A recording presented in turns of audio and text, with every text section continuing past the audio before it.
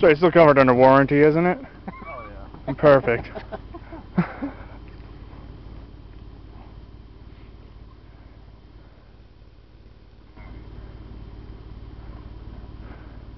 now you get to find out what you paid 30 grand for.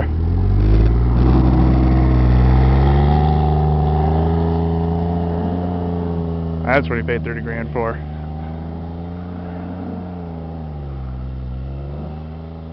Perfect.